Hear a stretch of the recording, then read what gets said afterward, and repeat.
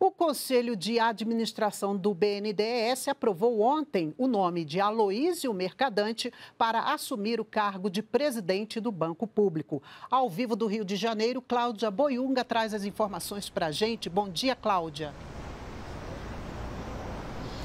Bom dia, Mara. Bom dia a todos. O nome de Aloysio Mercadante foi aprovado pelo Conselho de Administração nesta quarta por unanimidade.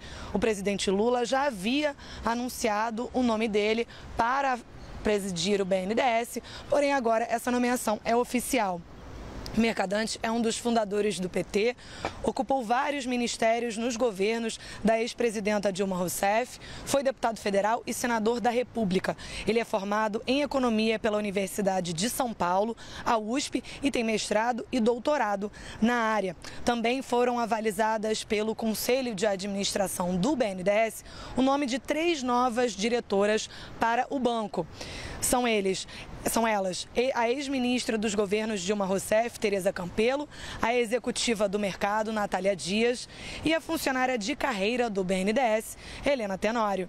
Mário, eu volto com você. Obrigada, Cláudia.